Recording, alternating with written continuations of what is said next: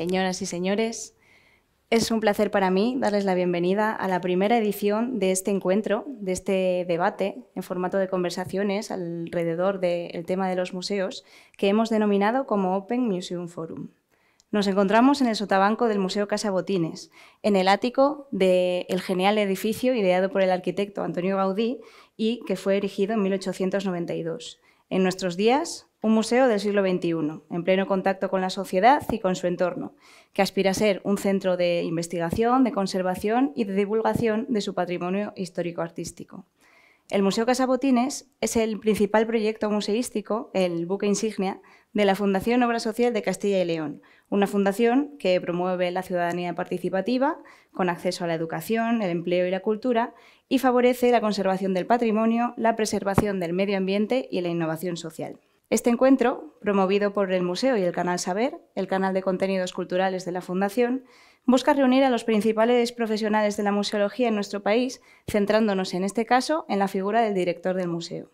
El director del museo es una de las figuras más influyentes dentro del panorama cultural actual. De los directores de grandes museos nacionales e internacionales, cuya capacidad para condicionar el debate cultural es innegable, a los responsables de museos locales y regionales, que son figuras indiscutibles de los entornos sociales y que se han convertido en referentes respetados, temidos, imitados e incluso odiados. Vamos a dar paso a la primera conversación uno de los enfoques más interesantes para abordar la situación actual de los directores de museos, en España es el generacional.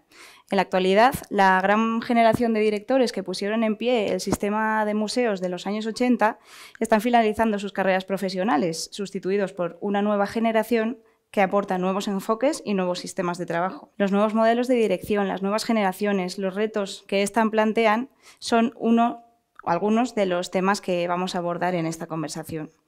Y todo ello aderezado de la mejor manera posible, que es con música. Ya decía el compositor Leonard Bernstein que la música puede dar nombre a lo innombrable y comunicar lo desconocido, pero para servir como canal, hoy tenemos a dos figuras a las que me hace especial ilusión presentar.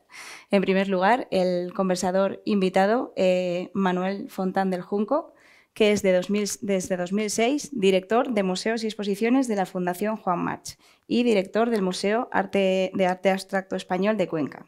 Estudió filosofía en Alemania y en España y hasta 2005 fue director de tres sedes europeas del Instituto Cervantes, en Bremen, Lisboa y Nápoles. Autor de ensayos de filosofía y crítica, traductor, ha organizado y dirigido y en ocasiones comisariado más de un centenar de exposiciones, además de proyectos de comisariado independiente, como por ejemplo la exposición de Fernando Zobel, El futuro del pasado, en el Museo Nacional del Prado en 2022. Por otra parte, José María Viejo del Pozo es periodista, publicista, experto en gestión empresarial, cuenta con más de 20 años en la gestión y organización de diferentes sectores empresariales, Formó parte del equipo fundador de Europa FM y ha trabajado en numerosos medios de comunicación como Onda Cero, Canal Plus, eh, Punto Radio, Castilla y León Televisión, entre otros. Ha dirigido la comunicación de diversas empresas también de diferente índole y ha impulsado numerosos proyectos culturales, entre ellos el museo desde, desde donde nos encontramos, del que, como él mismo dice, fue descubridor. Así que de nuevo muchas gracias a los dos por animaros a participar en este encuentro, que ahora sí ya es todo vuestro. Dice lo de descubridor porque cuando yo he reflexionado sobre mi experiencia con el museo más que un creador, me he sentido como un descubridor porque siempre he pensado que el museo ya, ya estaba Existía. Solo había que, arañar un poco. Em, dice bien poco del organizador que me hayan puesto aquí a hablar con un museólogo rodeado de museólogos, ¿no? No, eh, yo creo que eres un hombre de la radio, o sea que eres el más sí, adecuado. Claro, sí, pero, para, pero, algo así. Eh, este ciertamente es un foro dirigido a profesionales y alimentado y nutrido por profesionales, así que yo aquí puedo tocar el cajón flamenco, pero el cantador claramente, claramente eres tú. Muchas gracias por venir, Manuel. A vosotros, por la invitación. Yo estoy muy agradecido, muy honrado, abrumado por el lugar, por vuestras atenciones y por el, lo específico y lo exigente del formato, que al mismo tiempo ayuda, porque sabes que vas a hablar para colegas y gente que te va a exigir pues, un nivel eh, alto. espero en fin, que lo que haga tenga algún sentido y, ayude. Seguro que sí, pues nos vamos a, nutrir de tu conocimiento, de tu experiencia y de, y de tu visión de este sector eh, tan complejo, pero absolutamente tan indispensable para eh, el, consumo de la cultura y el instrumento de, didáctica y de, educación de, la ciudadanía. La primera cuestión es de intendencia conceptual, museos y cambio generacional. Eh, mi playlist. Tu playlist. Explícanos el, porqué del título. Pues el título, la primera parte creo que se entiende. ¿no? Eh, nos habéis convocado a los que vamos a participar y a los que se van a ocupar de hacernos las preguntas y a quienes van a participar en el debate a hablar del cambio generacional en, España. Eh, Marta acaba de referirse a la primera generación de profesionales que crearon la infraestructura de museos y de instituciones en nuestro país, que está a punto de jubilarse. Em, y conectar eh, el museo con el cambio generacional es eh, absolutamente crucial. Eh, los museos, en el fondo, son máquinas del tiempo, son máquinas espaciales porque son espacios, pero lo que condensan dentro es tiempo. Y también nosotros somos tiempo que respira. el tiempo nos cambia, cambiamos el tiempo, hacemos cambiar el tiempo. Em, lo que voy a hacer, o lo que voy a tratar de hacer, es una especie como de pequeña fenomenología del cambio generacional aplicado a los museos o a las instituciones culturales. Aquí creo que se puede usar la palabra museo, la parte por el todo, vale también para otras instituciones culturales.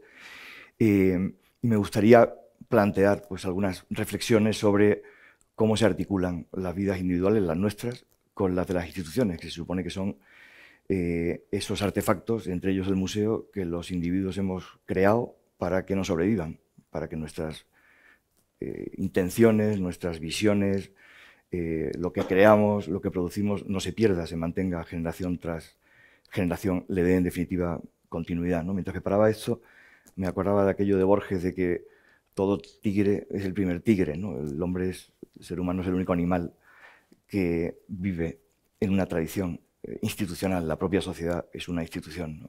Los animales eso no ocurre, cada uno es el primero y el último. de ahí museos y cambio generacional. ¿Por qué mi playlist? Pues porque de un tiempo a esta parte tengo que confesar que a veces me resultan más, inspiradoras, eh, no solo las obras de arte en general, si a uno no resultan inspiradoras las obras de arte, no debería dedicarse a trabajar en museos o en colecciones, o a comisariar o a curar, como queráis llamarlo, sino las letras de las canciones. ¿no? yo he aprendido más con la cura de Franco Battiato de lo que es mi trabajo que con algunos de los textos de nuestro querido Hans Ulrich Obrist. Em, pero he elegido, eh, he elegido, digamos, contar lo que quería contaros al, a lomos de una serie de canciones, por eso mi, mi playlist, primero porque me resultan muy inspiradoras, segundo porque eso tiene que ver con uno de los puntos los que me, de los que me gustaría hablar, porque tienen una difusión y una presencia brutal. Una de las canciones que voy a usar tiene 195.000 descargas en YouTube. Perdón, 195 millones de descargas en YouTube. Eh, no creo que haya ningún museo desde 1798 que se crea el Louvre que haya tenido tantos visitantes. Eh, y por tanto que haya algo que, tenga, que pueda tener por lo menos eh, tanta influencia. Y después porque creo que a los comisarios, a los conservadores, a los curadores, a los directores de museos, nos corresponde quizás hablar menos en, primera persona y con voz propia y más bien echarse a un lado y dejar que el arte, en este caso la música o la letra, con su fascinante estilo indirecto, diga eh, más de lo que parece decir.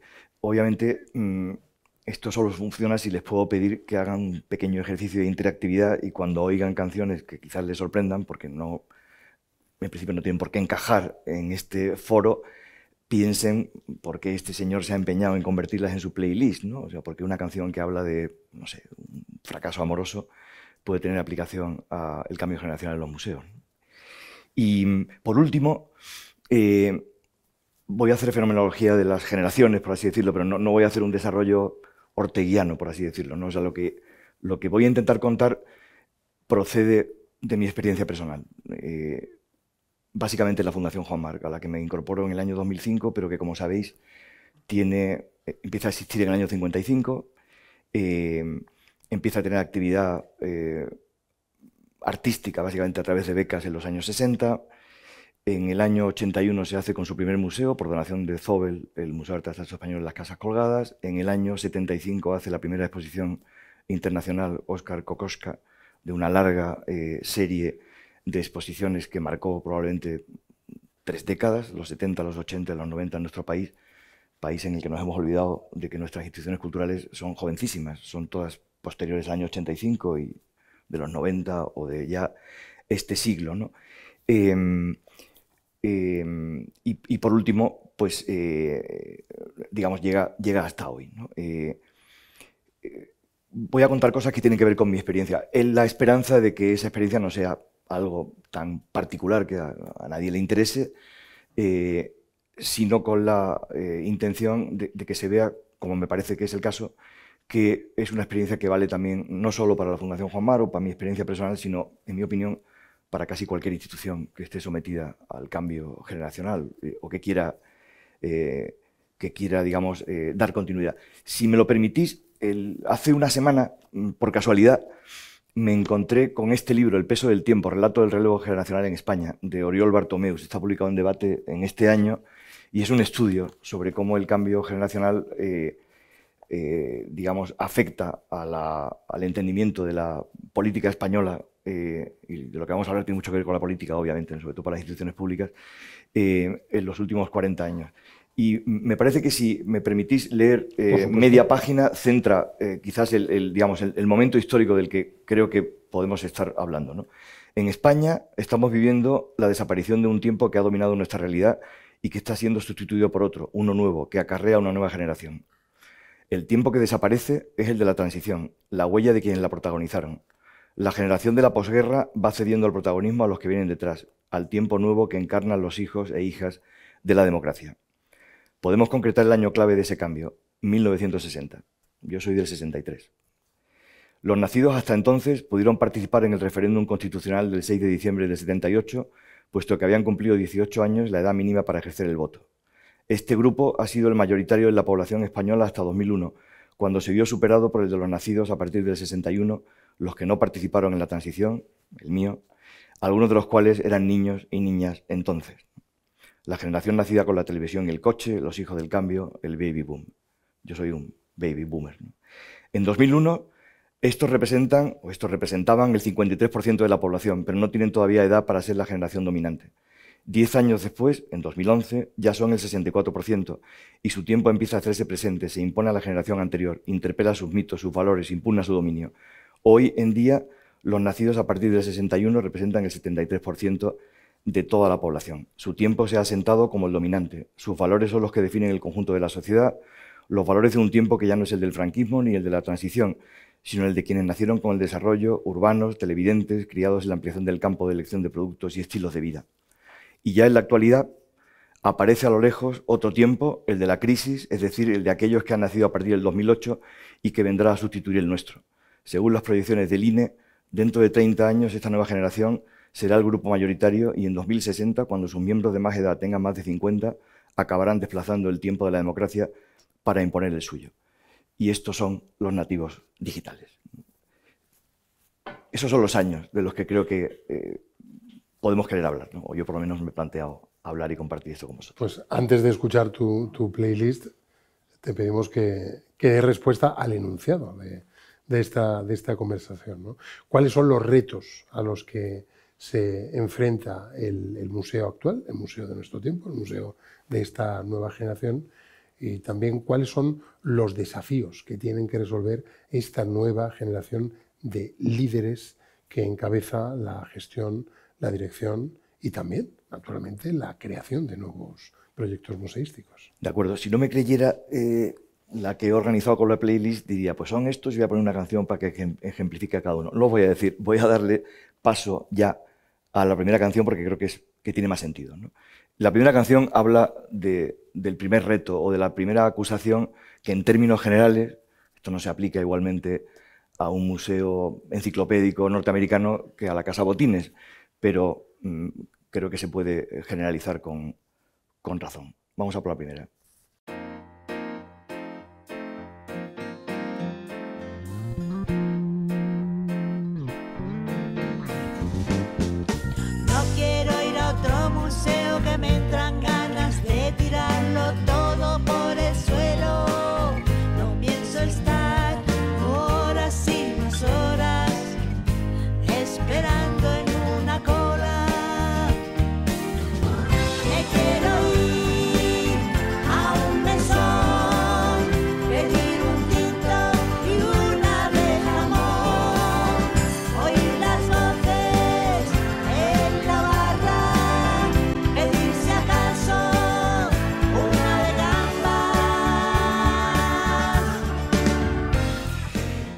Pues este es el primer reto que creo que tienen nuestros museos, los lugares en los que trabajamos, que mucha gente piensa que son instituciones inflacionarias y que están dando la espalda a la vida.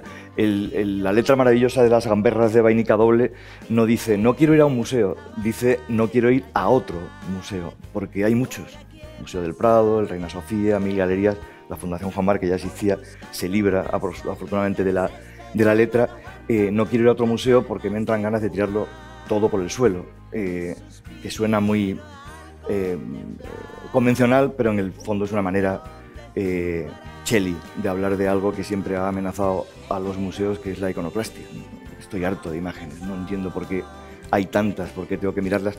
Habla la canción de estar cansado de mirar, de no poder dar un paso más. A uno se le viene a la cabeza esa expresión inglesa de los museum legs, el hecho de que visitar un museo cuesta esfuerzo, cansa. Hay gente que se ha dedicado a medir eh, y los resultados son horrorosos. El tiempo medio que dedica cada persona delante de una obra.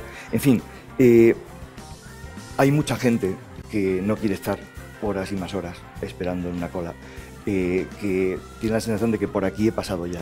O sea, indudablemente yo soy una persona muy feliz de vivir en 2024 y el tiempo que me quede, pero está claro que no son tiempos, quizás sí para la lírica, pero no son tiempos para eh, la satisfacción y el placer ambulante o de pie, son tiempos de simultaneidad, son tiempos en los que estamos tan bombardeados de imágenes que todo es un déjà vu, o como dice Paul Virilio, perdón, un déjà entendu, esto ya lo he visto, por aquí ya he pasado, esto ya me lo han contado, puedo ir al museo, pero ya lo he visto en YouTube, ya lo he visto en TikTok.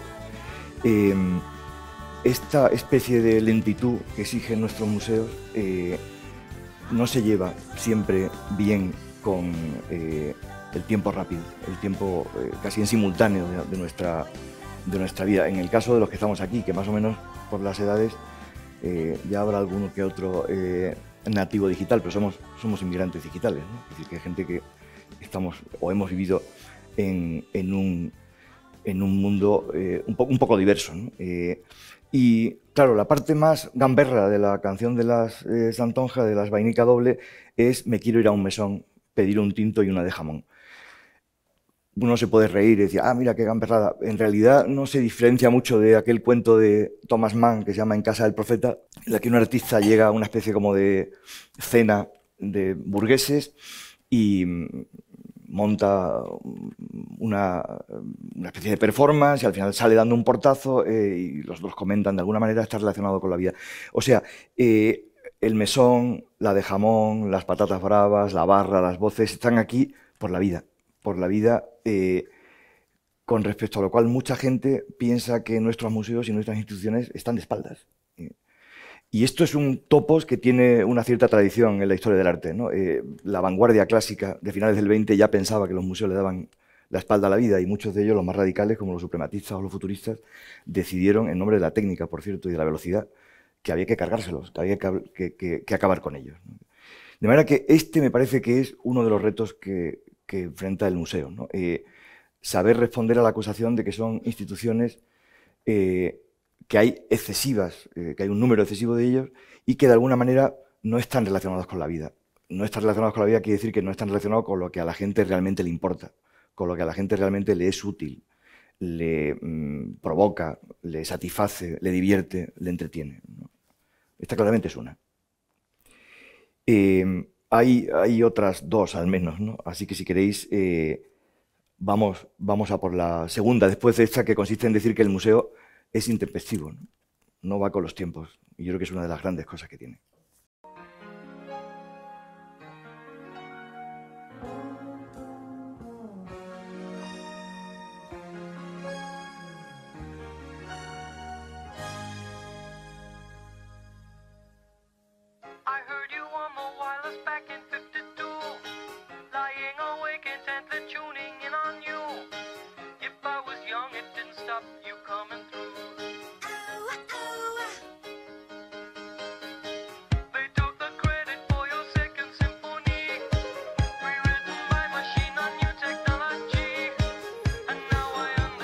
atento la letra, casi habla de chat GPT. Rewritten by Machine Technology.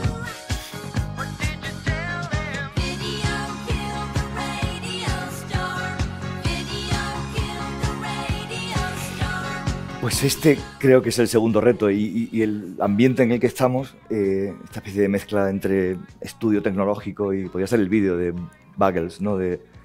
Eh, Video Kiss de Radio la, Star. La buena noticia es que el vídeo nunca mató a la estrella. Nunca mató a la estrella de la radio, efectivamente. No es, eh, como dice al final de la canción, eh, We've gone too far, o sea, hemos ido demasiado lejos, no, no hemos ido demasiado lejos, pero indudablemente creo que uno de los retos que tienen planteados nuestros museos es que nos ha salido un competidor enorme en los medios. Primero en los medios de comunicación, que de los 50 y los 60 hasta hoy, eh, en muchos casos han tomado la primordialidad eh, sobre el museo y sobre las instituciones de la tradición para decirnos quiénes son.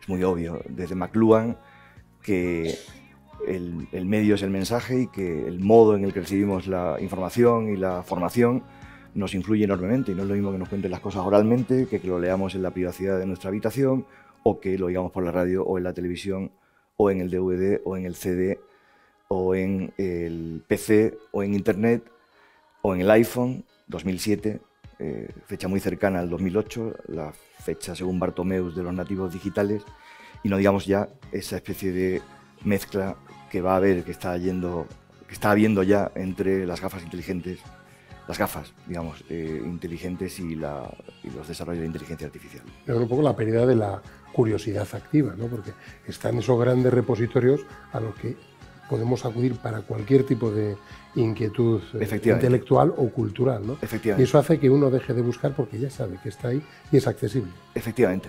Eh, eso hace que la pregunta a veces se plantee de manera distinta a la de nuestra generación, por así decirlo. ¿no? la pregunta ya no es qué suman los medios digitales sin cargarse la naturaleza de la experiencia sensorial ante una obra de arte en un museo. La pregunta para mucha gente ya es, ¿por qué tengo que ir a un museo si puedo bajarme el Van der Weyden con Google Art y verlo sin que se me pixele en su detalle?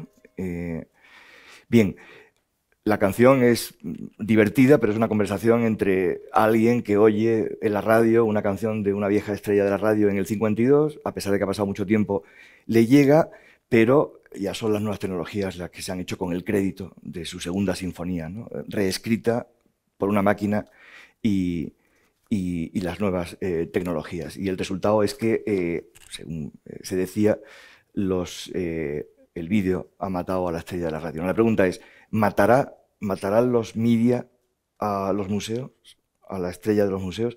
En mi opinión, no, pero tampoco podemos seguir trabajando y pensando en nuestro tiempo y en el tiempo que viene como si esa circunstancia no se hubiera dado. Eh, y eso es una de las cosas que va a marcar el cambio generacional, la diferencia entre los seres anfibios que ya somos, los anfibios pero nacidos en el agua, que son los nativos digitales, y los inmigrantes digitales, que todavía quedamos en esas generaciones.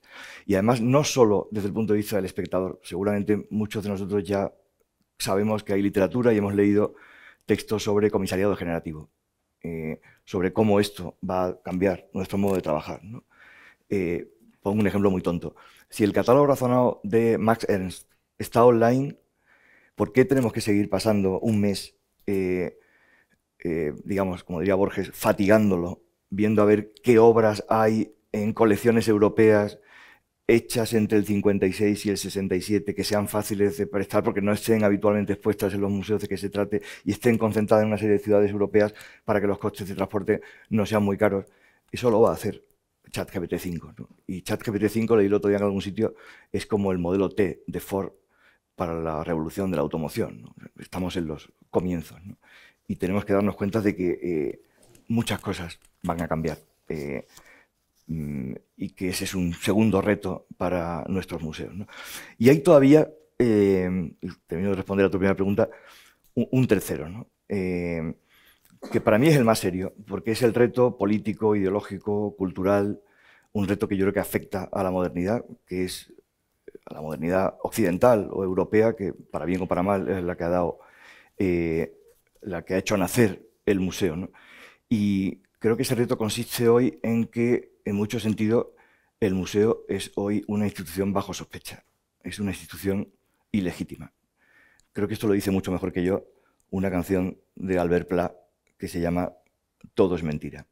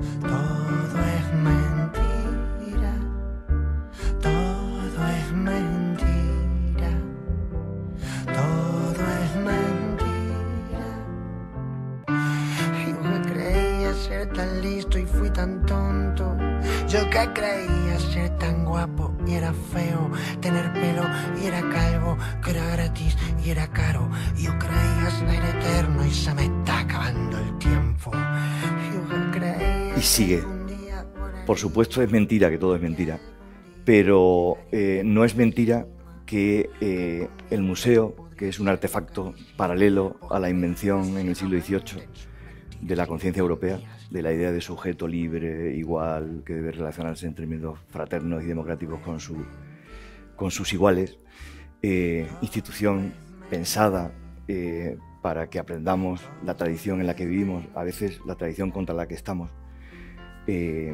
Artefacto, por tanto, revestido de todas las virtualidades y todas las características que la ilustración europea quiso darle a la razón, la universalidad, la objetividad, el peso de la ciencia, esto que pensábamos todos, o que se ha pensado durante mucho tiempo, que era el museo, pues resulta que una noche nos acostamos y al día siguiente nos despertamos y donde había universalidad hay etnocentrismo, donde había igualdad había clases sociales, donde había espiritualidad había materialismo, donde había evangelización había colonialismo, eh, donde había sujeto libre había eh, sujeto heteropatriarcal, eh, y de todo esto se ha alimentado el museo. Ariela Aisha Zulay, que creo que ha escrito el libro más serio, en mi opinión, sobre, digamos, sobre mm, el imperialismo, por así decirlo, eh, o el colonialismo de las instituciones culturales, llega a decir en, su libro, Unlearning Imperialism, que no es que las potencias coloniales europeas eh, digamos, eh, ocuparan África y la expoliaran y después llegaran el resultado de su expolio a los museos, sino que hicieron eso porque había museos que rellenar. Y esto hace que los museos sean sospechosos. Bueno, eso afectará al Metropolitan o al Humboldt Forum en Alemania, que tiene 150 bronces de Benín. Esto a nosotros no nos afecta, porque nosotros eh, gestionamos un edificio que fue de una caja de ahorros, no voy a poner vuestro ejemplo, porque, pero a todo se le puede buscar el momento en el que parece que es blanco pero es negro, parece que sí pero es no. Es decir, con todo se puede hacer lo que las filosofías del siglo XVIII, de finales del XVIII, el XIX y el XX hicieron con los ideales de la ilustración europea, que es descubrir que donde pensábamos que había razón, en realidad es mucho más primordial el cuerpo y el inconsciente, Freud, que donde pensábamos que podíamos tener una relación objetiva con la realidad y contarla en los museos, eso está dominado por el momento histórico en el que nacemos, eh, que donde pensábamos que podíamos establecer relaciones de igualdad entre las personas, pues eso no es cierto porque está mediado por las clases sociales. Es decir, que lo que parece no es y lo que no es parece. ¿no? Y eh, este es un reto fuerte y serio al que los museos tienen que hacer frente, al que nuestra generación creo que ya... eh, Pues un tiene- reto social, un reto Sí, general de sí. búsqueda de, de- de una nueva legitimidad. Absolutamente. De alguna Eh, forma, la- como decía Machado, la, la sociedad cambia cuando cambian sus dioses. ¿no? Efectivamente. Y hay dioses que están cambiando, ¿no? o hay dioses que han sido eliminados. Quiere decir que, eh, y ya está cambiando, obviamente, ¿no? Eh, hace dos décadas la crítica institucional no eh, se ocupaba de dirigir los museos, hoy sí. Eh, exposiciones que no tenían hace 15 o 20 años ningún problema metodológico, hoy lo tienen. Nosotros acabamos de hacer una exposición que se llama Antes de América, Fuentes Originarias de la Cultura Moderna, y es una exposición atacable. Eh, oiga, ¿cómo usted desde, no digo ya desde Occidente, sino desde Madrid, terminado en Z, cómo se atreve usted a hacer un juicio sobre hasta qué punto las formas de las poblaciones originarias, eh, por supuesto, expoliadas y aniquiladas, están presentes en la cultura contemporánea. Eh, ¿Desde qué legitimidad? ¿Desde qué view from nowhere? ¿no? ¿Desde, con, qué, ¿Con qué razón? Em, claro, mm, me dijeron una cosa y era otra. Eh, ¿Está diciendo el museo lo que tiene que decir hoy o no? Bueno, yo diría que esos son los tres retos. Y después está el reto que nos une aquí, que es cómo, cómo afronta cada institución eh, que creo por ahí va también tu pregunta, el cambio generacional. Eso sí, porque ya en el ámbito institucional, entre ellos naturalmente las, los museos, cómo hacer frente a ese, a ese puro fenómeno de cambio eh, generacional. ¿Cuál es tu, tu, reflexión sobre este particular? Pues mi reflexión depende mucho de mis últimos 16 años de trabajo. Eh, y la, puedo contar creo que con tres canciones. Vamos a por la primera. son tres canciones digamos, con las que yo puedo contar, pero seguramente cualquier institución puede contarse a sí misma y es seguro que cualquier director, cualquier directora, cualquier directivo que se incorpora a una institución seguramente se encuentra en alguna de estas situaciones porque creo que tienen cierta universalidad y hay que saber responderlas. Y hay que saber responderlas porque creo que eh, tienen, digamos, tienen un impacto justo ahí donde se puede decir con verdad que somos tiempo que respira, que somos gente que viene del pasado, que ocupa un presente y que en el futuro no va a estar. Van a estar otros que a su vez vendrán de un pasado, estarán en un presente y gestionarán un futuro. Vamos a por la primera. Cuando fuimos los mejores, los bares no se cerraban cada noche en firme a la hora señalada. Cuando fuimos los mejores, las camareras nos mostraban la mejor de sus sonrisas en copas llenas de arrogancia.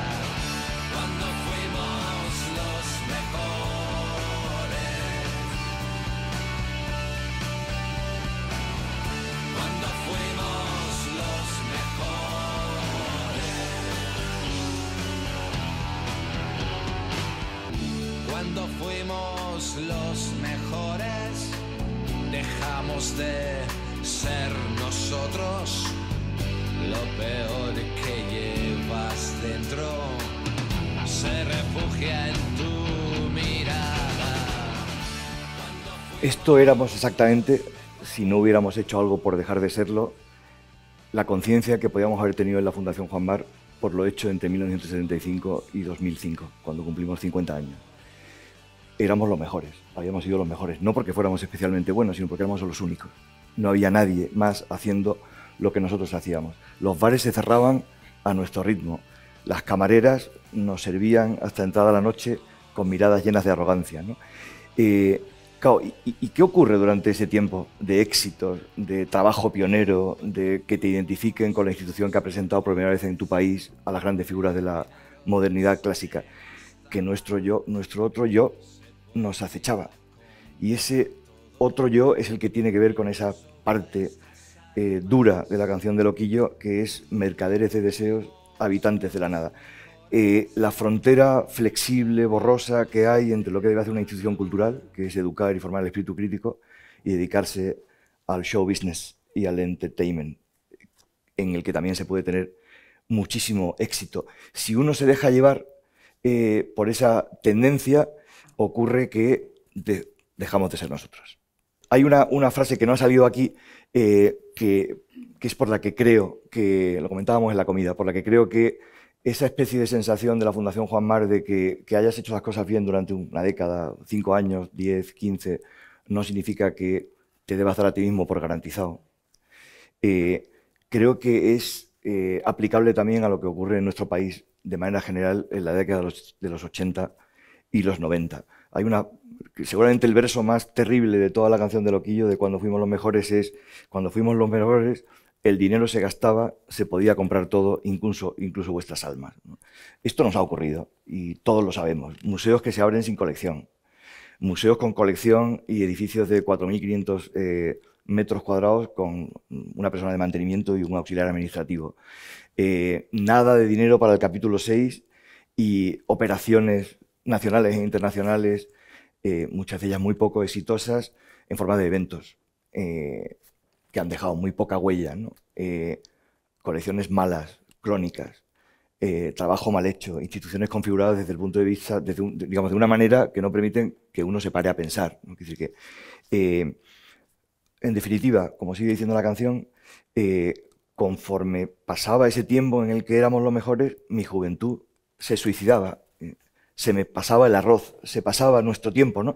Y nosotros empezamos a pensar institucionalmente, o la inteligencia colectiva que forma cualquier institución, o la subjetividad institucional, esto es una expresión de Griselda Pollock, que hay detrás de cada institución, empezó a pensar que estamos en una zona eh, ambigua justo cuando la Fundación en 2005 cumplió 50 años. Hizo una exposición que se llamó Celebración del Arte, eh, que celebraba los 50 primeros años de una institución creada en el 55 y cuyo contenido eran obras de arte, muchas de ellas obras maestras que habían pasado por las exposiciones que la Fundación había hecho desde el 75, exposiciones internacionales.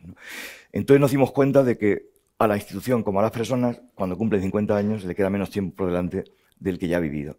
Y tiene que empezar a pensar en unos términos distintos a cuando eres el mejor, cuando eres joven e inmortal. Y el modo en el que enfrentamos esa situación ambigua lo canta también muy bien Loquillo en una canción que se llama Memoria de jóvenes airados.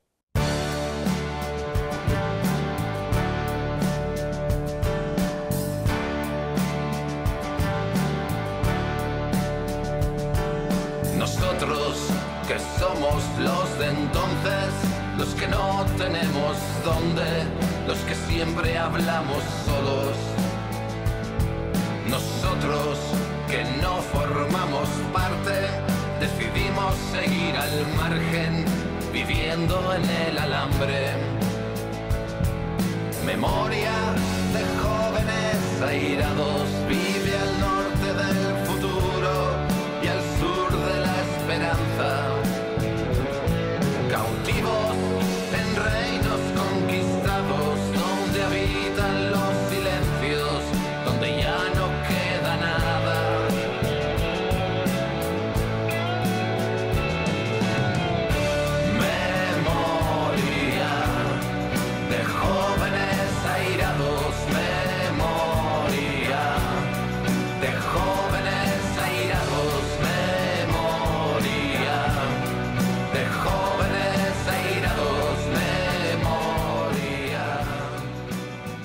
No diría yo que en el 2005 nos reunimos en la institución una serie de jóvenes airados, pero sí que teníamos claro que seguíamos siendo los de entonces, porque pertenecíamos a una institución que tiene una historia y no puedes sencillamente aniquilarla o trabajar como si no, eh, como si no existiese o no hubiera existido. Teníamos claro que de alguna manera no formábamos parte de determinadas maneras de hacer eh, el trabajo cultural o el trabajo museístico, el trabajo con las colecciones. Eh, y decidimos de alguna manera, esto suena muy presuntuoso, espero que no me lo entiendan de manera presuntuosa, como dice la canción, decidimos seguir al margen viviendo en el alambre. Es decir, decidimos que en un momento de ambigüedad, eso lo dice muy, de una manera muy bonita la canción de Loquillo, ¿no? Eh, cuando vives al norte del futuro, cosa que suena muy bonito, pero claro, solo, solo a condición de que vayas al sur, si no, eh, te va mal, ¿no? Y también suena muy bonito eh, vivir al sur de la esperanza, pero claro, solo a condición de que vayas al norte y la esperanza esté en el norte. ¿no? Esa especie como de ambigüedad en la que no eh, se sabe muy bien por dónde hay que tirar, esa sensación de que eres cautivos en reinos conquistados, donde reina el silencio, donde ya no queda nada o donde ya no queda nada para nosotros, donde no tiene sentido seguir haciendo lo que hacíamos, básicamente exposiciones monográficas que dieran a conocer por primera vez en nuestro país a los grandes artistas de la modernidad, porque ya había otros que lo hacían, que lo hacían mejor, que lo hacían porque tenían más medios, porque tenían mejores equipos, porque tenían mejores colecciones, porque tenían, bueno, todo el poderío de la función pública cuando en los años 80 empieza el Centro Nacional de Exposiciones, que después daría lugar al Reina Sofía, y la eclosión brutal de instituciones culturales de nuestro país que ha, dado lugar a, que en 30 años eh, tengamos una infraestructura cultural muy parecida, si no mejor, y más moderna, porque es más reciente, a la que tienen los países de nuestro entorno, que lo han hecho en 60 o 70 años después de la guerra. Y en ese momento, ¿qué decidimos como jóvenes airados? Eh, pues decidimos una cosa muy, muy simple, ¿no? Y es que para nosotros el trabajo pionero de presentar por primera vez artistas que no conocía nadie en un país en el que no había museos había acabado, que la idea de que una exposición es básicamente un evento local consistente en reunir 25 piezas procedentes de 15 colecciones durante tres meses en el mismo sitio y que venga mucha gente y haya colas y vender catálogos y sortear un panda de vez en cuando para animar al público, se había acabado. Que básicamente lo que teníamos que hacer es lo que por otra parte mm, muchos museos e instituciones dicen que hacen, ¿no? y es pensar que teníamos que hacer una, una inversión en materia gris. O sea, pensar que eh, lo único que es inagotable, eh, pero también lo único que no se puede improvisar es la imaginación y el trabajo intelectual y la investigación. Que debíamos aprovechar las condiciones que tenía una institución privada, autónoma, con cierto dinero y cierta agilidad, para ser señores de nuestros plazos, para no hacer exposiciones para vender muchos tickets, sino hacer exposiciones porque hay artistas que se merecen que se les hagan exposiciones y no se han hecho. Exposiciones basadas en ideas, exposiciones basadas en aspectos no conocidos de artistas conocidos, exposiciones dedicadas a artistas desconocidos que están en los márgenes del canon, que están en ámbitos como uno que no habíamos tocado nunca, que es Latinoamérica, ¿no? Y a eso nos lanzamos y en eso estamos. Eh, y entonces, como en eso estamos, y mm, en fin, eh, estos señores tan amables de, la, eh, de Fundos han dicho, bueno, pues en fin, la Fundación Juan Mar, que tan prestigiosa es, pues yo podría acabar aquí mi playlist, pero no. Porque una de las cosas que ustedes descubrirán cuando se acerquen a su jubilación o al estanque dorado de los 60 años es que si quieren hacer bien su trabajo, de pronto se ven como que, a ver, esto, ¿será, ¿será verdad que tengo que empezar a tener una especie como de mentalidad de startup a mis 60 años? Pues sí, y eso creo que lo dice eh, muy bien, o sea, o el momento en el que nos sentimos ahora institucionalmente, en el que yo creo que se siente institucionalmente cualquier institución, que también se siente institucionalmente en la descripción que acabo de hacer con Memoria de Jóvenes Airados y con la primera canción, la dice también Loquillo en una canción que, es seguramente la más conocida de todos porque era la banda sonora de Crematorio, la serie aquella, aquella de Rafael Chirves, que se llama Cruzando el Paraíso, y a la que le pongo una pega. Hay que ponerle un no delante para que se entienda. Dice, es tan fácil, no es tan fácil. Es tan fácil dar sin pensar en uno mismo. Vayas a donde vayas, encontrarás espejismos. Somos tan iguales y a la vista tan distintos. Yo bajando a los infiernos y tú cruzando el paraíso.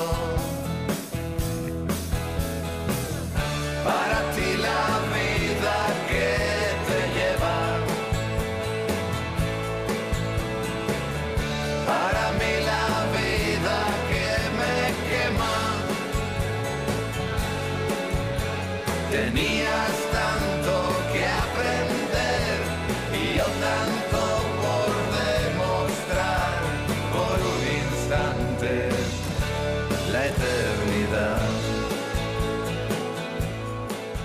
Esta es una canción que obviamente habla de dos generaciones. ¿no?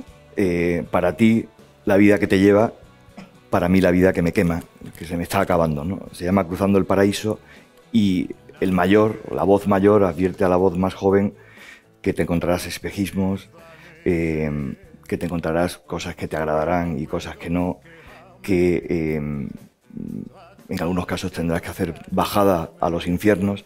Es decir, hay un momento en las instituciones que yo creo que coincide con bastante exactitud con el cambio generacional en el que no ocurre eso tan duro que dice la canción de que nada permanece, todo se desvanece. ¿no? Eh, eso no ocurre porque precisamente para eso están las instituciones, para que las cosas no se desvanezcan con, la, con el final de la vida de los individuos. ¿no? Eh, nada es posible sin los individuos, nada tiene continuidad sin las instituciones. Esa es una frase famosa de Jean Monnet, uno de los padres de Europa. Pero hay un momento en el que las instituciones, a los directivos, nos toca, perdonadme el trabalenguas, empezar a sentirnos como el pasado de un futuro. Ya no somos los del futuro y ni siquiera somos del todo los del presente. Toca empezar a pensar que tenemos que hacer las cosas de manera que el pasado que van a heredar los que vienen después sea el correcto.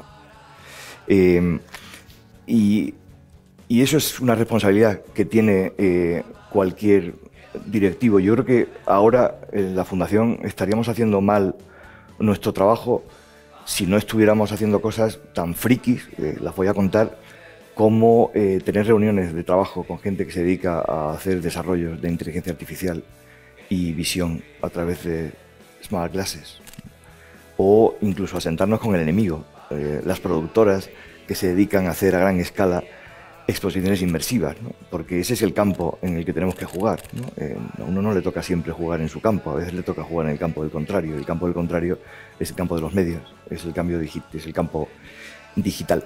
La canción, hay un momento al final que dice, por un instante, la eternidad.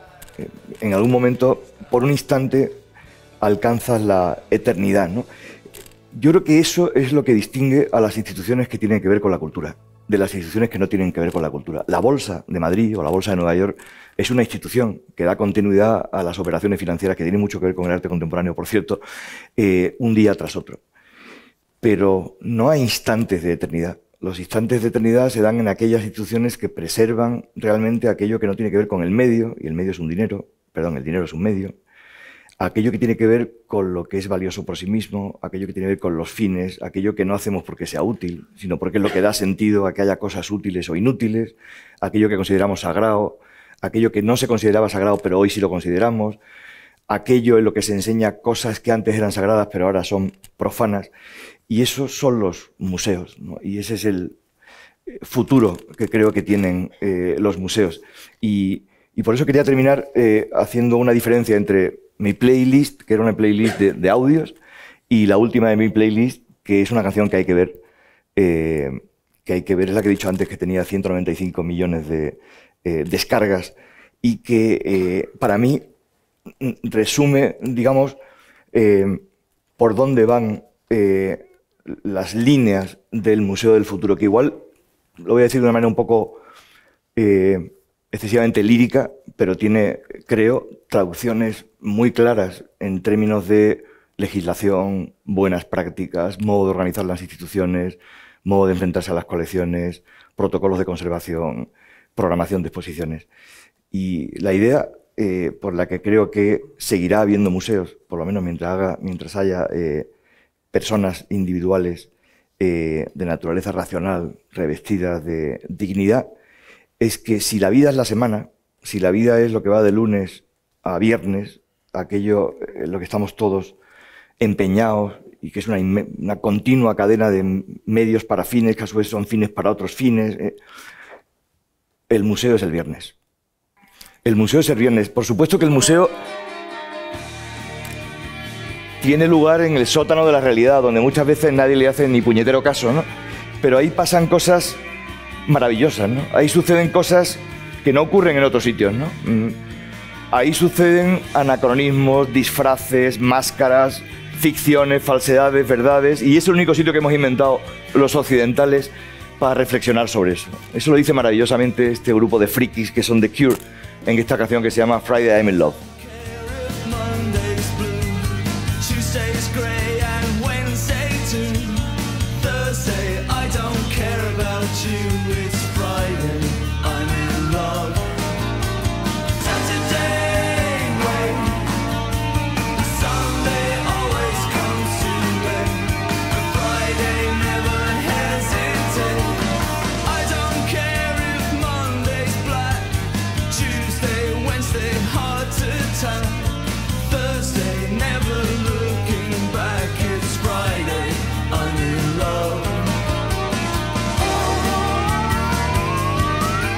Todas estas cosas que están pasando ahí, esos paisajes que se mueven, que cambian casi en cada momento, gente que se queda quieta, esa mezcla absoluta de máscaras, de trozos de fragmentos de otro tiempo, de anacronismos, de caos, de desorden, de, voces que interpretan y que dicen cosas que no siempre tienen que ver con lo que está ocurriendo. Todo ese lío, todo eso yo creo que es la fiesta eh, que se produce en el museo cuando ordenamos eh, el mundo que hay a nuestro alrededor, cuando pretendemos dejarle eh, de manera crítica o de manera celebratoria el mundo en el que hemos vivido a la siguiente generación. He elegido esta canción de todos modos porque el título es Friday I'm in Love. El bueno de don José Ortega Gasset tiene una definición del amor muy bestia, pero muy sabia, que es, dice, el enamoramiento o el amor es una alteración patológica de la atención. Eh, eso es lo que ocurre en los museos. Pero debe seguir ocurriendo, porque vivimos en un mundo que tiene tales patologías ligadas a las maravillas tecnológicas entre las cuales vivimos, que seguimos necesitando espacios en los que el tiempo se condense y en los que se altere no patológicamente, sino beneficiosamente nuestra atención y sean lugares en los que podamos mirar a las cosas no en función de para qué sirven o en función de cómo me salgo con la mía o en función de cómo reinterpreto o en función de cómo modifico injustamente, por supuesto, si hay que modificar justamente, adelante, ¿no? Tenemos el museo, tenemos las instituciones y mientras no seamos animales como el tigre, que podamos darnos el lujo de decir aquello que decía, no aplicándoselo a sí mismo, el bueno de Wittgenstein, ¿no? decía, haciéndose el cínico, pero irónicamente, ¿no? ¿Qué me importa a mí la historia? ¿Qué me importa a mí la historia? La mía se acaba conmigo. Mientras tengamos esa responsabilidad, que es en fondo la responsabilidad generacional, eh, seguirán existiendo los, los, museos. Los líderes de los museos, los gestores, tienen que articular en cada tiempo sus tiempos y los tiempos de la institución. Y tienen que hacerse la pregunta del millón, que es, ¿Debe mi institución ser intempestiva o debe adaptarse absolutamente a los tiempos? Y en ese equilibrio, desequilibrio, las instituciones se la juegan.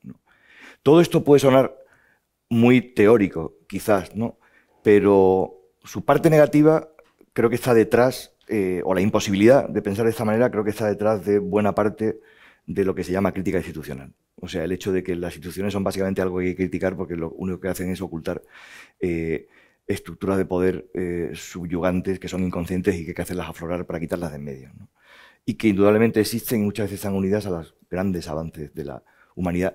El museo, creo, estoy absolutamente seguro de que sigue siendo una herramienta para hacer eso. Entre otras cosas, y esto lo comparten con las instituciones en las que tú y, bueno, y algunos de aquí y yo trabajamos, y es que de alguna manera todo museo en el fondo de su corazón es una fundación. Es decir, es algo que se hace, como decía Lytton Strachey, que habría que escribir sin pretensiones ulteriores. Uno no hace un museo para que la corporación bancaria de la que depende abra más sucursales.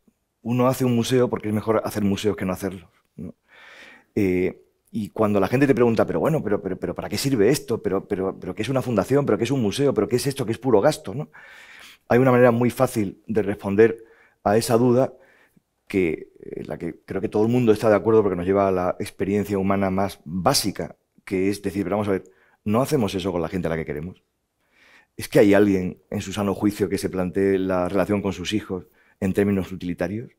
Claro que si les cuido me van a cuidar, pero en el fondo lo estoy haciendo todo a fondo perdido, para una generación y para una vida en la que yo no voy a tomar parte pero en la que estará la institución en la que yo habré trabajado y la que trabajarán otros. Y quedan dos minutos para que se cumplan los 50, así que yo he terminado. Pues larga vida a los museos. Larga vida a los museos.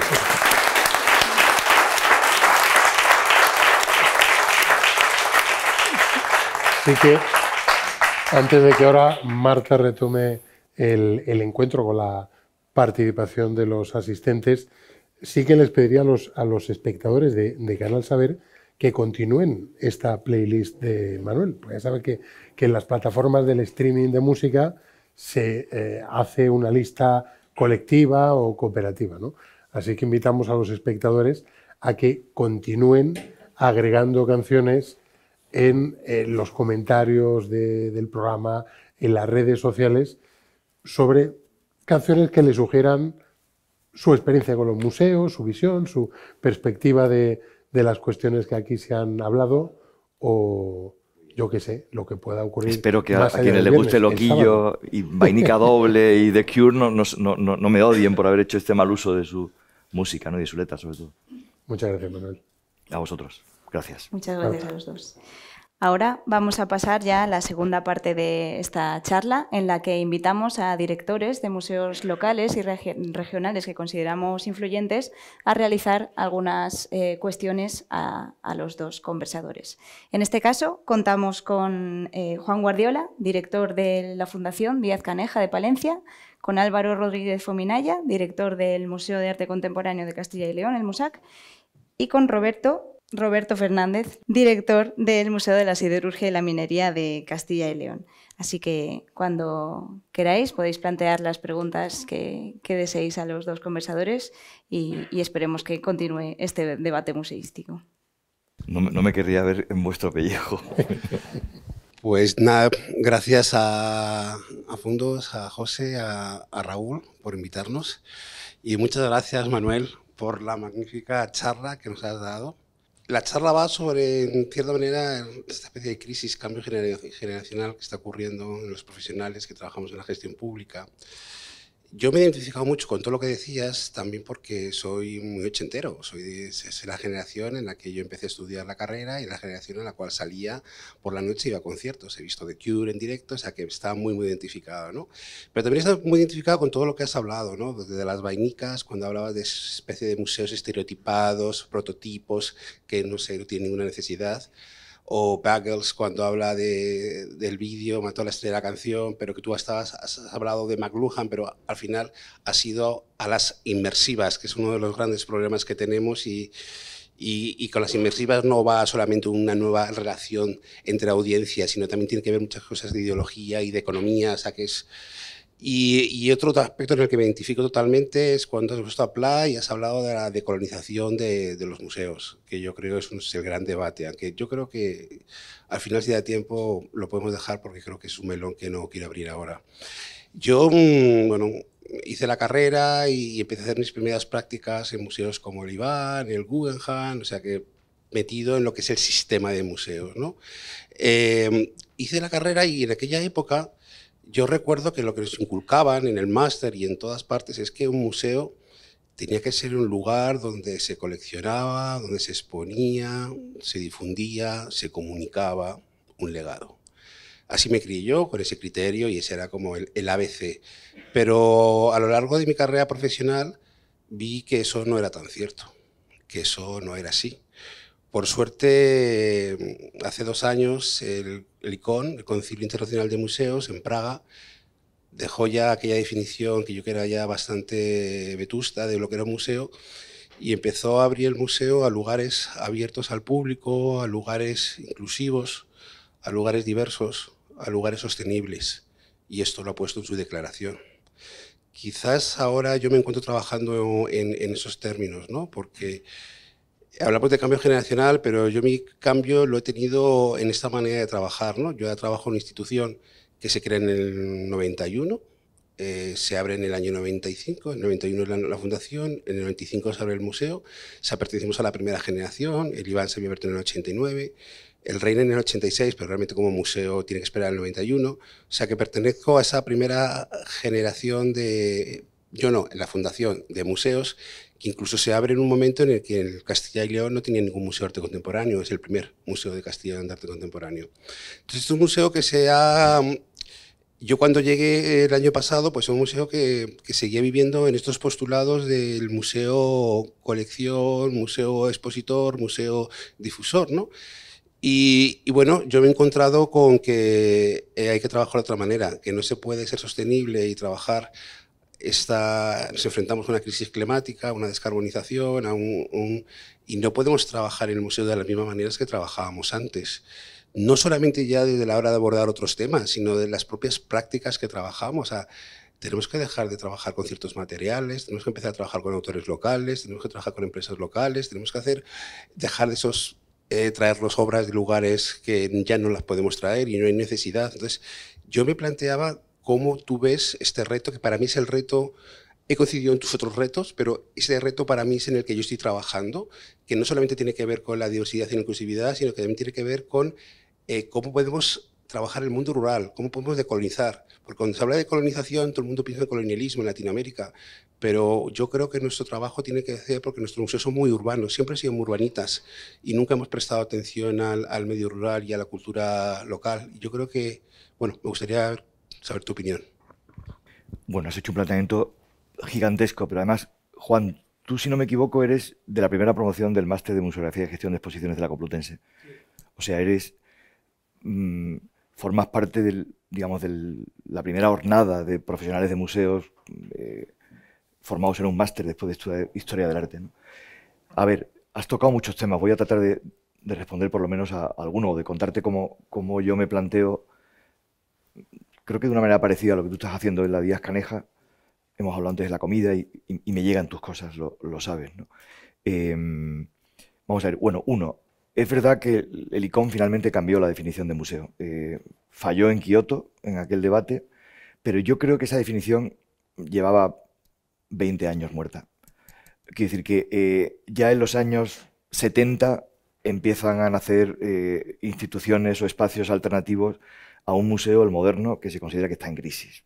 Eh, y que mm, en los lugares donde la estructura social no es considerada un museo, en la que cada cosa está en su sitio y hay un sitio para cada cosa y todo está organizado por el gran artista o el gran comisario, es decir, los países eh, totalitarios del otro lado del telón de acero, pues era bastante, mm, era bastante real decir que muchos de esos museos eran una transubstanciación del, digamos, de la peor cara, pero yo creo que las tiene buenas, del capitalismo financiero.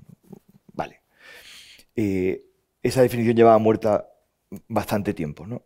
Eh, aunque hay aspectos de esa definición que hay que eh, mantener. Las obras de arte, mientras sigamos considerando que hay objetos que son irrepetibles, originales y no clonables, pues hay que cuidarlos, ¿no? entre otras cosas para que pasen de generación en, en generación. Eh, pero efectivamente eh, tenemos encima de la mesa eh, ese reto del que yo no he hablado, que es el reto ecológico, que seguro que conozco peor que tú, y el reto al que has aludido con las inmersivas tecnológico. Yo he hecho una referencia a la influencia, a la digamos, al impacto que va a tener en nuestro trabajo curatorial, pero también está la respuesta a la pregunta de dónde tienen que estar los clones en relación a las exposiciones y a las colecciones permanentes, con ellas, fuera de ellas, en el programa educativo, antes de la visita, después de la visita, todo esto hay que resolverlo. Yo solo puedo responder por ahora, eh, a ver, ordenadamente de la siguiente manera. Uno, solo hay que hacer las exposiciones que sean necesarias. Y hay muchísimas exposiciones completamente innecesarias. Y antes se podía argumentar que eran necesarias porque había que dar de comer al hambriento, por decirlo en vocabulario evangélico. Oiga, traiga usted Kandinsky a España, que nadie ha visto un Kandinsky. Cuando además el mundo no estaba globalizado, y no es que la gente no hubiera visto un Kandinsky, es que tampoco había visto ninguna buena reproducción de un Kandinsky, porque ¿dónde lo veías? En un libro de Esquira, que se podía permitir mm, no todo el mundo, eh, en una revista, ¿dónde se compraban? ¿En qué bibliotecas? ¿no? Decir que, pero hoy tecleas Kandinsky y ya está, ¿no? Decir que entonces es mucho menos importante. Hay muchas exposiciones que yo creo que no son necesarias y que no habría que hacer. Entre otras cosas porque mm, hacen muy difícil hacerlas realmente necesarias. Eh, En la comida estábamos hablando de un ejemplo. De estos ayuntamientos que les da por organizar exposiciones eh, sobre nombres sonoros y claro, pues a lo mejor le están haciendo la Pascua a los museos que realmente quieren hacer proyectos sobre esos artistas que realmente descubran algo eh, que hay que descubrir. Dos,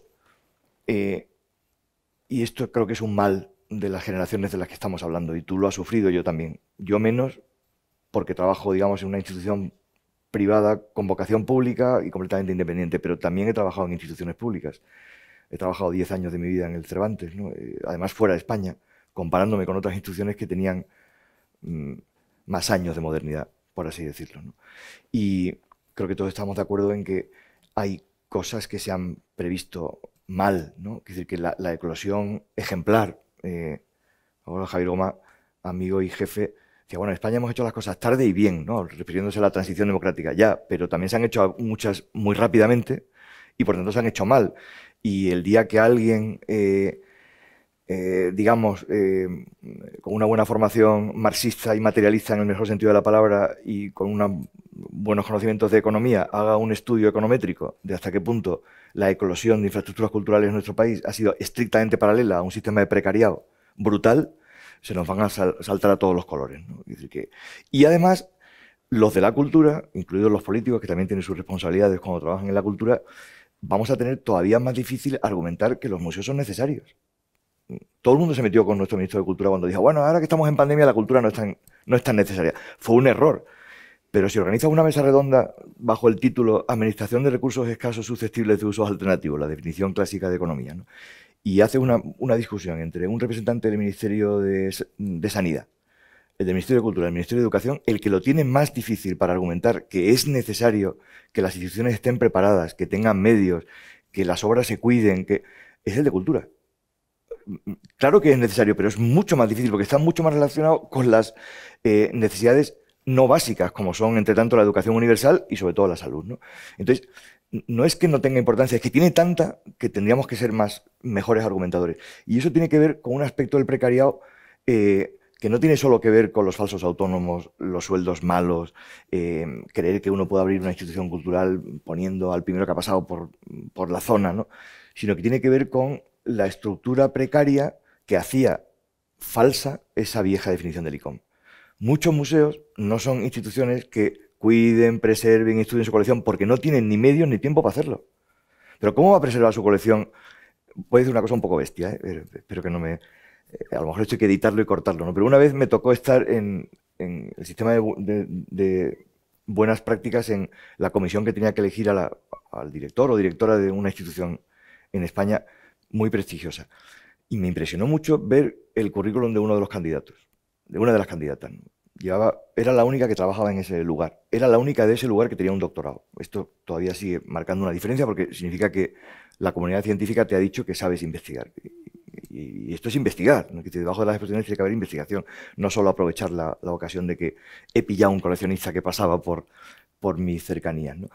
Eh, claro, su currículum era pavoroso, porque había trabajado 20 años en ese lugar, había comisariado una exposición que además tenía que ver con el tema de su tesis, había co-comisariado otra muy sencilla y el resto era trabajo de coordinación de exposiciones hechas por comisarios externos. Algo estamos haciendo mal, ¿no? Quiere decir que, eh, vamos a ver, no debería haber un 50-50, ¿no? O sea, no debería ocurrir que en vez de hacer 25 exposiciones es mejor hacer cuatro dos de producción propia y una, pues me pongo de acuerdo con otra institución. O sea, no debería ocurrir que todos tuviéramos claros que un museo sin cafetería sigue siendo un museo, pero un museo sin biblioteca no es nada. Cuenca, eh, que tanto nos ha prestigiado y que procuramos cuidar tanto, es un museo tan impresionante porque está en unas casas del siglo XV colgadas de, y con una colección maravillosa. En fin, pues hoy he visto vuestros feitos y vuestros auras que son también maravillosos. Pero a veces nos olvidamos de que la importancia que tuvo que en el año 66 un tipo abriera al público su, biblioteca y tuviera las obras completas de la Beat Generation y de Eliot y de Oden y mm, literatura sobre arte asiático eh, y sobre mm, eh, pintura nepalí y catálogos de exposiciones del año anterior y estuviera suscrita a las exposiciones, perdón, a las revistas internacionales que se podían leer en Cuenca mes a mes con más facilidad que alguien que estuviera en el año 67 estudiando historia de la Complutense, ¿no? Esto es lo que da sentido a las instituciones culturales. Si no, somos muchas veces muy mm, parvos, como dicen los portugueses, porque pensamos, o sea, no podemos los museos no podemos competir con Pixar. Esto es absurdo, ¿no? Que si cualquier persona que haya trabajado en una productora audiovisual se da cuenta, ¿no? Eh, eh, eso es otro terreno. Eh, claro que hay que conocer ese lenguaje y claro que hay que ver hasta qué punto lo inmersivo tiene sentido o no lo tiene. Pero para todo esto hace falta que en el espacio que es el museo haya espacios dedicados a un tiempo de calidad, que es el tiempo que tenemos que dedicar a reflexionar sobre nosotros mismos. Foucault tiene una frase un poco salvaje, pero que se aplica yo creo que a cualquier trabajo, pero especialmente al nuestro. Dice, no hay ningún trabajo que merezca la pena si no incluye la posibilidad de reflexionar sobre el sentido de ese trabajo. Porque claro, porque es alienante, ¿no? Entonces estamos, o sea, eh, como decía un amigo mío, la gente no tiene tiempo para ser creativa, porque tiene mucho que trabajar de los museos tenemos tantas cosas que hacer, tantas actividades, que, digamos, que desmentimos con nuestra vida diaria aquello que predicamos. ¿Por qué hacemos cultura? Hombre, para que la gente reflexione, se fije con atención en la obra de arte como obra de arte, en vez de fijarse en una imagen para convertirla en dinero, que es lo que hace la publicidad. Ya, pero, eh, eh, ¿y tú lo disfrutas? No, no, yo cómo lo voy a disfrutar si yo, o sea, aquí hacemos 35 exposiciones al mes y, en fin, y, abrimos 24 horas al día. Pues mal, muy mal, ¿no? Eh, muchas gracias por la playlist, nos ayuda a pensar. Para mí una, pregunta que hace muchos años me vengo haciendo de forma obsesiva es la relevancia de los museos en los que trabajamos. Es como eh, el fondo de la cuestión de todo. Y sobre todo, si pensamos que los museos van a seguir existiendo, pero ¿de qué forma van a seguir existiendo? Yo creo que esa es la gran pregunta. ¿Van a ser instituciones potenciadas con respecto a lo que tenemos ahora? ¿O van a ser instituciones disminuidas y relevantes para la sociedad que van a continuar existiendo de manera puramente simbólica. Y hace dos días leí un artículo que me puso los pelos de punta.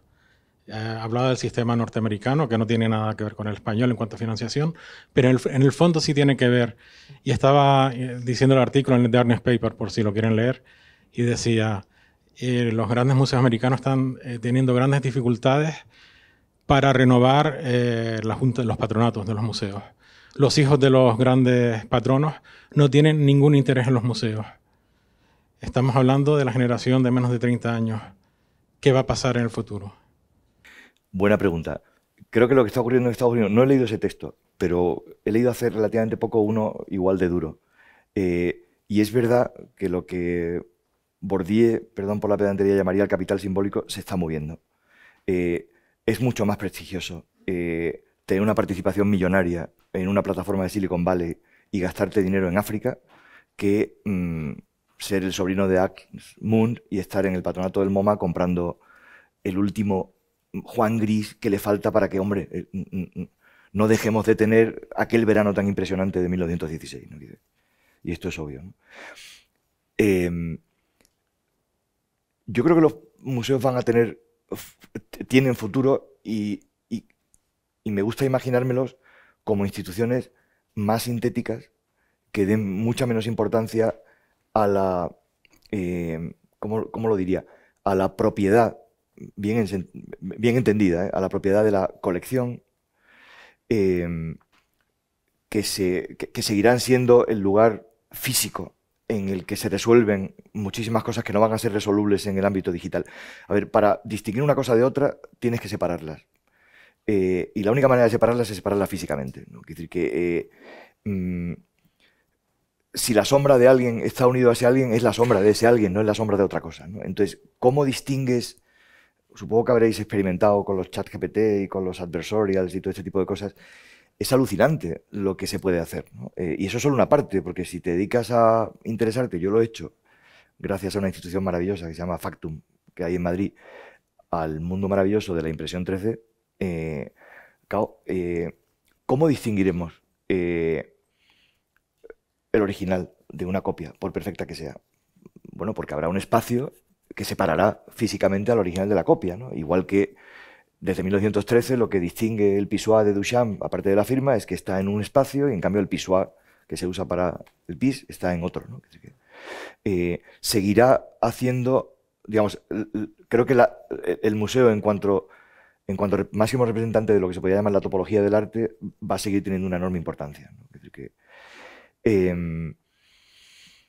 pero quería añadir algo más. Sí, que, tiene que ver con, digamos, con la, aquella razón por la que me parece relevante eh, o por la que me parece necesario que sigan existiendo museos. Eh, que, es, que es la siguiente, lo voy a decir no con palabras mías, sino con palabras de Boris Royce. Eh, que hay un momento, no lo voy a citar con exactitud, en el que dice un pasaje sobre el, el museo y la era de los medios de comunicación, dice, a ver, el museo moderno es el resultado de un encargo que el Estado moderno, o sea, el encargo, digamos, el Estado, el, Estado que, eh, al que dio lugar la, Revolución Francesa, el Estado moderno, europeo, entre tanto casi global, eh, eh, digamos, un encargo que da ese Estado al sujeto que le dice, lo que tú hagas es valioso y por tanto tenemos que preservarlo. Si los museos desaparecen, eso significará que ese mandato que el, digamos, la modernidad occidental europea y que ha llevado tanto sufrimiento aparejado, porque claro, se tomaron tanto, tan en serio lo importante que era lo que hicieran, que no se contentaron con lo propio y, no se contentaron con desamortizarse a sí mismos y convertir en obras de arte los objetos rituales de significado político y religioso que formaban parte de la cultura propia, sino que se fueron a África y a América a hacer lo propio, eh, a cambiarle la identidad a los objetos. ¿no? Eh, es decir, que eso tiene también su cara oscura, por así decirlo. Pero, pero la, cara, la cara blanca, por así decirlo, es la confianza del Estado moderno, democrático, fundado en la idea de la libertad y la igualdad básica y la dignidad de todos los seres humanos, de que lo que nosotros hacemos cuando escribimos un poema, hacemos una escultura, modificamos el modo de ver las cosas, eso tiene, tiene un valor y hay que preservarlo. Y hay que preservarlo fuera del espacio y del tiempo de las cosas que simplemente se usan, se consumen y se destruyen. Si acaba por no haber museos, eso significará que esa importancia habrá bajado muchísimo y a mí me preocuparía mucho porque significa que, digamos, que le habremos perdido el respeto a la noción de sujeto libre individual. Bueno, gracias José María por invitarnos y gracias Manuel por tus reflexiones. Muy rápido, muy concreto. Ciñéndome al tema del cambio generacional. Mm, ¿Tú crees que los museos, eh, como instituciones que tienen que permanecer en el tiempo, ¿no? y que tienen, bueno, yo creo que tienen una misión y tienen unos objetivos, al menos que están conceptualmente bien, bien creados, tienen que mm, contemplar medidas, vamos a decir, de autodefensa frente a sus propios, frente a los directores? No sé si me he explicado. Te has explicado maravillosamente bien. Claro, eh, sí, claro, esa es la pregunta del millón. Porque, claro, digamos, hab- hablemos del director en sentido neutro. O sea, a ver, lo enfoco de otra manera. No sé si me estás hablando de la dialéctica que a veces hay entre, por así decirlo, el estamento técnico, por así decirlo, de un museo y los directivos. Si me estás hablando de eso, estás tocando un problema muy gordo. Eh, en, en parte sí. que en parte se está resolviendo muy mal. eh, y lo sabemos. Es decir, hay, hay museos en este país que tienen un director artístico con un contrato de autónomo. Y, y además tiene un gerente, que manda más que él, obviamente. ¿no? Es decir, que, y además tiene un conservador jefe, que por supuesto manda muchísimo más que él, porque es el que, o sea, voy a decirlo en plan cínico, el poder lo tiene el que controla las colecciones, que es con lo que cuentas lo que quieres contar. ¿Eso está bien resuelto? Está horriblemente resuelto. O sea, lo siento, pero un barco tiene que tener un capitán eh, o una capitana, o un, equipo de capitanes, ¿no? Quiere decir que, y es- esa gente es responsable de la derrota, del mantenimiento, y después hay gente, esto es lo del monte análogo de- del novelista, hay gente que tiene su, su parte eh, eh, de responsabilidad, que es parcial, que, no es la responsabilidad que tiene el último responsable, que somos los directivos o los conservadores jefes. O, eh, claro, el museo tiene que estar pensado para, eh, claro, para que si, hay, si es necesario un motín, eh, esté justificado y se haga, por así decirlo, conforme a derecho. No es fácil, ¿no? Este modelo de los... A mí me espanta, ¿no? Que la persona que al final decide los contenidos y la misión y la visión tenga, digamos, un, grado de, relación contractual con la institución muy, muy precario, muy, muy, frágil, ¿no? Eh, porque esto se lleva mal con, con- O sea, tú puedes tener una enorme autoridad moral e intelectual, pero si no tienes contrato, pues estás en la calle al día siguiente, ¿no? Quiere decir que... eh, y eso no se lleva bien con instituciones. O sea, e- e- es, es bastante paradójico que eh, instituciones que precisamente están pensadas para dar continuidad a las tradiciones, a los usos sociales y a las costumbres, tengan a la cabeza gente que no tiene ninguna continuidad, ¿no? Y además, creo que tiene efectos perversos, porque claro, como no tiene ninguna continuidad, os vais a enterar los cinco años que voy a estar. Eh, claro, entonces el, el- primero los dos primeros supongo que serán hacerse cargo de lo que si alguien ha tenido sentido generacional le ha dejado. El de medio es más o menos para situarte y los dos últimos para hacer lo tuyo. Y por supuesto, si me voy, que vengas el, de- el- de atrás y arrastre. Esto, esto, esto es una inmensa responsabilidad. Ahí, ahí le doy razón a, a ese matiz que le ponía el bueno de Ángel González, del catedrático de la Complutense, al sistema de buenas prácticas, que es maravilloso, pero eh, que a veces tiene el efecto lateral perverso de que los políticos, con perdón, se nos van de rositas con sus responsabilidades. Oiga, usted tendrá que tener la responsabilidad sobre este proceso, sobre sus resultados, sobre eh, no la responsabilidad que tenían cuando nombraban directores de museos como si fueran cargos de confianza de un ministerio, que es absurdo, pero tampoco una responsabilidad nula. Eh, las instituciones privadas tampoco funcionarían bien así. Eh, claro, mi, experiencia o, mi reflexión ahí básica es que, a ver, lo- los directivos, las directoras o directores de los museos es gente a la que se le supone, o mejor dicho, es gente que sabe lo que las cosas significan, pero tienen que saber también lo que suponen. Eh, y los que saben lo que suponen, aunque muchas veces no saben lo que significan, del todo, son los técnicos.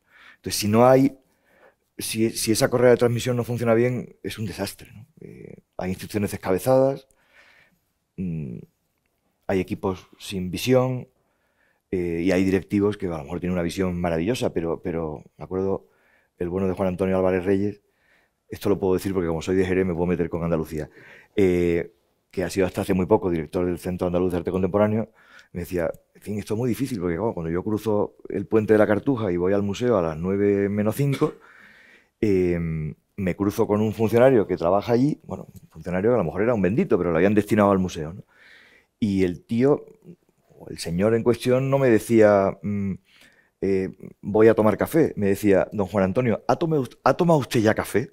o sea, que se suponía que el director, cinco minutos antes de entrar a trabajar o, cinco minutos después de entrar a trabajar, se podía ir a tomar café, ¿no? Quiere decir que eh, lo normal es entrar a trabajar y irte a tomar café, ¿no? Quiere decir que es difícil hacer las cosas así. Vamos a ir eh, terminando ya muy brevemente. No queremos mm, dejar pasar esta oportunidad de en estas charlas dar voz al equipo del museo, que además es un equipo que ejemplifica muy bien esto de que estamos hablando del cambio generacional, un equipo muy joven, al que por cierto agradecemos mucho haber eh, asistido hoy a la charla. Y en este caso, para esta charla en concreto, tenemos eh, la presencia de uno de los conservadores, restauradores del museo, Federico Arias, que va a realizar una pregunta a los intervinientes. Si, no lo he dicho, si no lo he dicho suficientemente claro, muchas gracias a todo el equipo. Ya me he dado cuenta de que sois todos, en fin, insultantemente jóvenes. jóvenes Muchas gracias a ti, Manuel, por tus palabras y por todo lo que nos has instruido en esta charla y a José María. Mi pregunta va dirigida a ti, Manuel, sobre todo centrándome en lo que es la plantilla de un museo y sobre todo en, en, aquellas áreas donde el cambio generacional ha sido más fuerte y más acelerado durante los últimos años como podrían ser en la museología o en la conservación y en la restauración, el, área que, el área que a mí me toca. Y si crees que este salto generacional, cuando en los miembros de la, de la plantilla comparten generaciones, hay varias generaciones dentro de ellos, surgen, eh, pueden surgir, por diferencias de criterio que se han dado a lo largo del tiempo, pueden surgir conflictos y como un directivo de un museo tiene que tratar con ellos. Esa sería mi pregunta. Sí, pueden surgir conflictos y los hay y son el día de cada día muchas veces. Em, por cierto, tu pregunta me ha hecho pensar en algo, no sé Juan si, estará si estaréis de acuerdo conmigo los tres directores, que claro, antes ocurría que sobre todo los perfiles más técnicos de los museos, eh, bueno, depende de qué museos, me refiero a los museos sobre todo de arte moderno y contemporáneo, claro, si hablas del Prado, pues un conservador es casi un catedrático de universidad y una restauradora o un restaurador es una persona con mucha experiencia ya, ya de siempre, por así decirlo. ¿no? Pero creo que ocurría que había perfiles técnicos menos preparados y muchísimo trabajo. Y ahora hay perfiles técnicos hiper preparados y muy poco trabajo. Esto es un tema duro para vuestra generación. Eh, es general, porque mi generación se estabilizó aproximadamente a los 35 y la vuestra probablemente se va a estabilizar a los 45. También es verdad que viviréis 120, o sea que no, no va a pasar nada. ¿no? Pero sí, eh, Sí, yo diría que, es bueno que eso ocurra y, a veces hay que tomar decisiones que no gustan y a veces los técnicos tienen que decirte cosas que no, que no te gustan. Eh, voy a poner un ejemplo de hasta qué punto esto es importante. Nosotros este año pasado hemos climatizado el Museo de Cuenca. Eso quiere decir que hemos horadado un edificio del siglo XV y hemos aprovechado para hacer un, bueno, y hemos tenido una experiencia que es que todo el mundo debería tener, todo el mundo que trabaja en un museo, que es la experiencia de vaciar un museo. Porque claro, los museos están pensados para llenarse, se vacían muy pocas veces. Cuando se vacían a veces da mucha pena, ¿no? El Prado se vació para llevarlo a Ginebra durante la guerra, ¿no? Eh, bueno, o porque significa que a lo mejor algo ha fracasado, ¿no? Tuvimos que vaciarlo. Eh, hicimos un vídeo ensayo sobre se llama vaciar el museo, ¿no? porque es una cosa que pasa muy raro. Y entonces, eh, porque obviamente había que mover las obras y protegerlas para la intervención que se iba a hacer. Y decidimos ofrecerla profesionalmente a instituciones en otras ciudades de España y, de Europa y de América a quienes quisieran contar la historia inverosímil de un museo hecho por artistas en los años 60 con obras de nuestra colección. En nuestra colección hay obras que primero, como el Avestigo Gorra eh, de Chillida, eh, mm, de madera de olmo, o como eh, Abribardo de Antonio Saura, o sea, piezas muy delicadas, que no están mal porque han estado 40 años en un lugar que es Cuenca, que no es tropical, que dice que hay una una cierta, pero no estaba climatizado el museo. ¿no? Y yo sabía que las restauradoras me iban a decir, hay peligro con estas piezas. Han viajado las dos, nos hemos entendido. ¿Por qué? Porque claro, a veces hay que pensar las cosas en términos de, de, trascendencia, ¿no? vamos a ver, nunca más va a haber una exposición itinerante de la colección del museo, de la colección de Fernando Zobel por el mundo. Nunca más va a haber la oportunidad de que la vean en un museo de Dallas o en la Pedrera de Barcelona. Entonces, a veces hay que forzar. Eh, y nos ha salido bien porque los museos con los que hemos trabajado eran eran serios y, las obras no, no, han sufrido. Pero, pero hubo su debate, ¿no?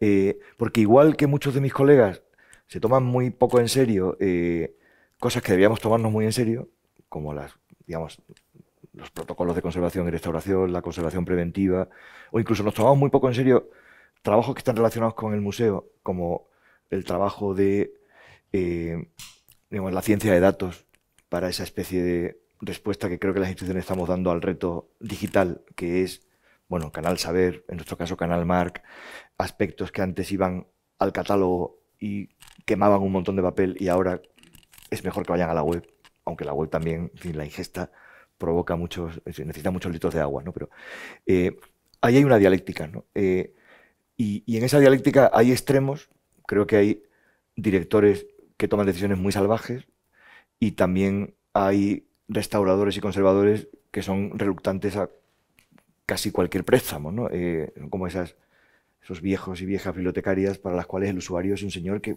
me va a desordenar los libros. ¿no? aquí solo está para que la gente venga a leer, está para, para que los libros no, no sufran. ¿no? Eh, parece que estoy diciendo tonterías, pero, pero últimamente hemos tenido algunos ejemplos muy irritantes de este, de este tipo. ¿no? Voy a poner un ejemplo, si tengo tiempo. Tiene que ver además con, lo, con una, una, referencia que ha hecho, que ha hecho Juan y también eh, otra que ha hecho Álvaro. Eh, hemos pedido a un museo americano que nos preste unas obras sobre papel donadas por Fernando Zobel para que viajen a Manila y a Singapur y la respuesta ha sido no, porque están en el trópico. Oiga, mmm, váyase a hacer puñetas. Obviamente las razones han sido de conservación, porque el papel sufre y ya se sabe que Manila no es precisamente, no es precisamente eh, Finlandia, ¿no? Pero se merecen un serio correctivo de colonial. O sea, o sea, que un señor que nace en Filipinas, que estudia en Harvard, que dona 250 dibujos de artistas españoles contemporáneos que pueden decir que están en la colección de Harvard porque los donó Fernando Zobel. Saura, Chillida, Gordillo, en fin, Feito. Eh, su museo en Manila, el museo creado por su familia y sobre todo la National Gallery de, Singapur, pide esos papeles que, repito, no es el único dibujo que se conserva de Leonardo da Vinci sobre la Virgen de las Rocas, no, son unos dibujos a tinta preparatorios de una pintura. Y dices que no, porque va a un país del tercer mundo, hablando en plata, a mí me dan ganas de llevarme por delante al departamento de restauración, en este caso de los Harvard Art Museums. Em, y, en cambio, eh, por el otro lado, pues a veces hay eh, gente que somete a pruebas muy duras la, colección. Eh, o sea, hay esa especie como de beatería, por un lado, y esa especie como de, como de exceso de alegría, por otro. Y hay que mantenerse, creo que en un sano término medio.